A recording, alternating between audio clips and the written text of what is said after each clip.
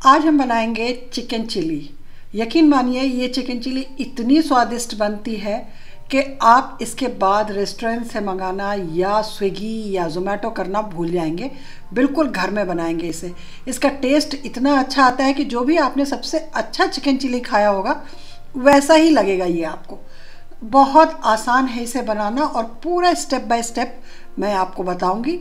आप देखिए कितना खूबसूरत लग रहा है ये, उतना ही डिलीशियस भी है ये, और घर के बनी हुई चीज़ की तो बात ही कुछ और है। तो चलिए देखते हैं कि इसमें क्या क्या इंग्रेडिएंट लगते हैं और ये बनता कैसे है। इसके लिए यहाँ पर मैंने लिया है 500 ग्राम चिकन इसे मैंने धो करके, साफ़ करके और इसका पानी बिल्कुल निकाल दिया है। इसको बिल्कुल छोटे छोटे टुकड़ों में काट लेना है एक इंच के क्यूब्स में, जैसा आप देख रहे हैं। इस तरह का काट लेने के बाद इसे हमने तो बोल में रख ही लिया है। अब इसमें हम मिलाएँगे कुछ चीज़ें, जैसे आधा चम्मच नमक साथ साथ आधा चम्मच कश्मीरी रेड चिली पाउडर। इसके साथ साथ हम मिलाएँगे एक चौथाई चम्मच काली मिर्च का पाउडर और एक चम्मच लहसुन अदरक का पेस्ट। और ये है एक बड़ा चम्मच सेजवान सॉस, जो इसको बहुत अच्छा टेस्ट देगा। साथ साथ मिलाएँगे एक बड़ा चम्मच ही chilli sauce green chilli sauce है, या आप रेड चिली सॉस भी मिला सकते हैं। और इसके बाद हम मिलाएँगे एक बड़ा चम्मच सोया सॉस ओहो, मैंने बिल्कुल गंदा कर दिया इसे तो पहले इसे साफ़ कर लेते हैं। अब इसके बाद हमें इसमें मिलाना है थोड़ा सा सिरका, एक टीस्पून सिरका मिला लेंगे और इसे मिलाने के बाद हमें इन सारी चीज़ों को खूब अच्छी तरह से मिलाना है ताकि चिकन इन सभी सॉसेस से और मसालों से अच्छी तरह से कोट हो जाए। तो खूब अच्छी तरह इसे मिला लें। एक बार चिकन कोट हो जाए तो इसे हमें थोड़ी देर के लिए मैरिनेट होने के लिए रखना है। तो इसे हम करीब आधे घंटे तक मैरिनेट होने के लिए रख देंगे ढाक करके। अब हम तैयार करेंगे कॉर्नफ्लावर की स्लरी और उसके लिए हम लेंगे दो बड़े चम्मच कॉर्नफ्लावर और इसमें मिला देंगे थोड़ा सा पानी। करीब आधा कटोरी पानी मिला लें और उसमें कॉर्नफ्लावर को अच्छी तरह से घोल लें। कॉर्नफ्लावर में जब हम पानी डालते हैं तो वो नीचे बैठ जाता है तो खूब अच्छी तरह से नीचे से इसे खुरच करके और बढ़िया से इसे घोल लें।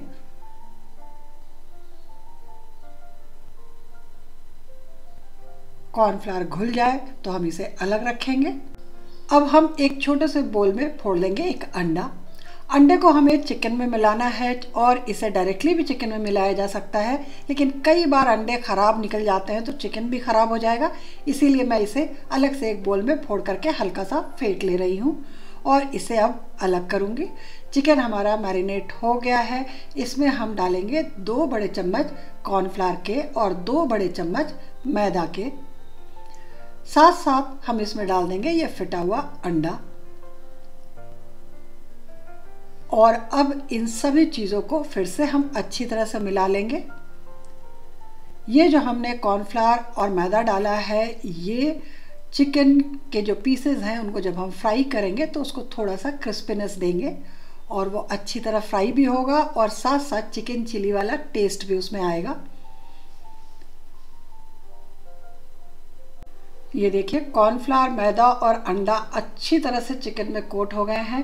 तो अब हमें आगे का प्रोसेस करना है, यानी कि हमें इन चिकन पीसेस को अब बिल्कुल डीप फ्राई करना है। तो उसके लिए हम लेंगे एक कढ़ाई और उसमें गरम करेंगे रिफाइंड ऑयल और एक एक करके सारे चिकन के पीसेस को हमें इसमें डालना है। लेकिन पूरा एक बार में नहीं जा पाएगा तो आधा अभी मैं डाल रही हूँ इसमें। और फिर इसे हमें उलट पुलट करके गोल्डन ब्राउन फ्राई कर लेना है। ज़्यादा टाइम नहीं लगता इसमें और चिकन को पकने में भी ज़्यादा टाइम नहीं लगता, लेकिन फ्राई करते हुए आप इसे मीडियम फ्लेम पे फ्राई कीजिए ताकि चिकन किसी भी तरह से कच्चा ना रहे। देखिए कितना सुंदर कलर आ रहा है इसका।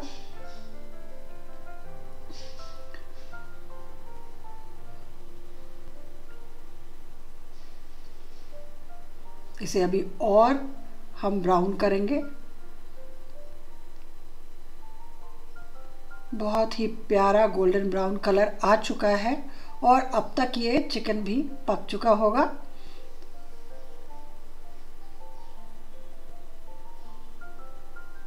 तो बस अब इस लॉट को हमें निकाल लेना है ताकि हम आगे के लॉट को भी फ्राई कर सकें। इसे निकालने के लिए हम दूसरा वाला झारा ले लेते हैं, ये इस तरह की जाली वाला, ताकि इसके अंदर जितना भी ऑयल हो एक्स्ट्रा वो निकल जाए ड्रेन हो जाए। इन्हें हम पेपर नैपकिन या किचन टॉवल पर निकाल लेंगे।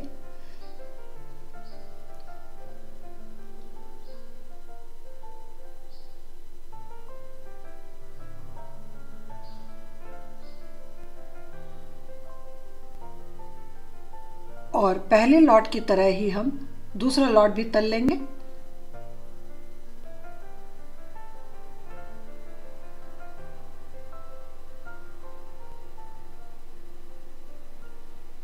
तो ये हमारा दूसरा लॉट भी तल चुका है, यानी सारे चिकन के पीसेस तल चुके हैं। आप देखिए कितने प्यारे दिख रहे हैं ये।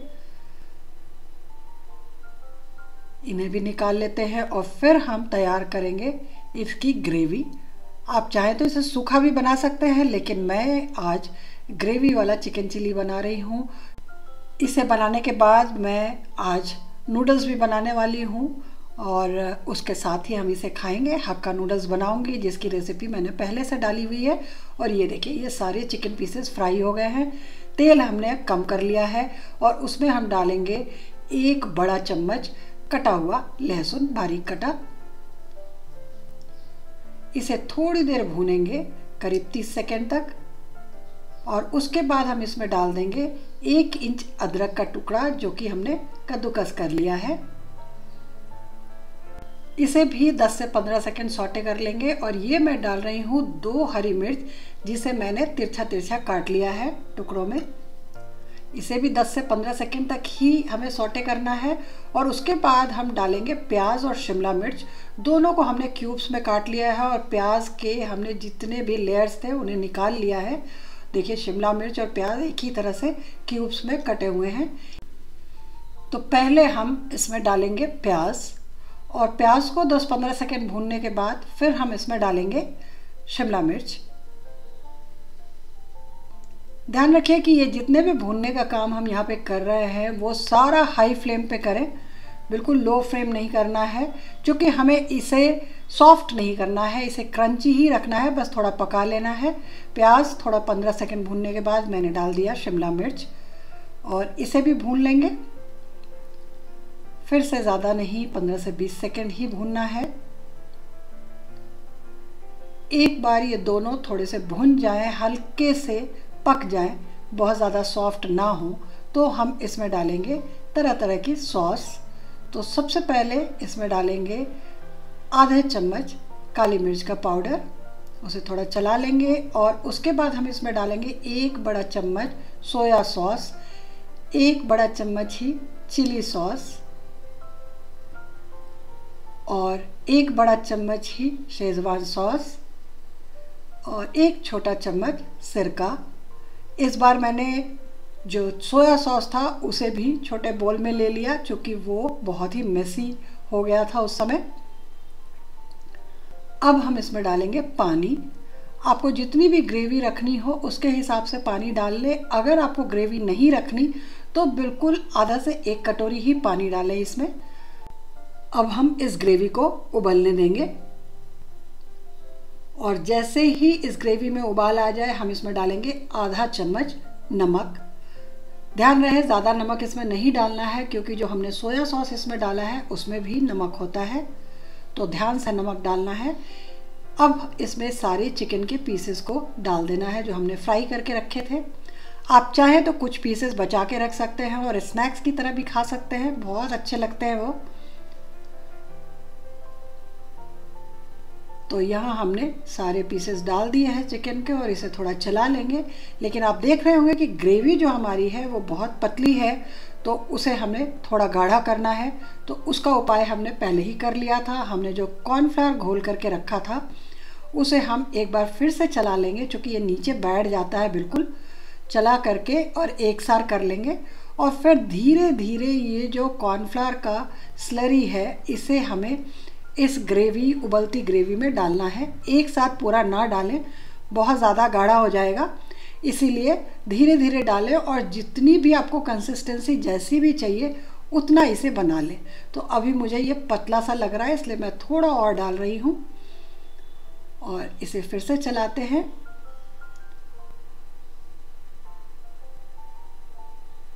ये देखिए, अभी भी थोड़ा पतला दिख रहा है मुझे, इसलिए थोड़ा सा कॉर्नफ्लावर और डालूँगी, जो उसकी स्लरी हमने बनाई है तो उसे हम थोड़ा सा और डाल लेंगे।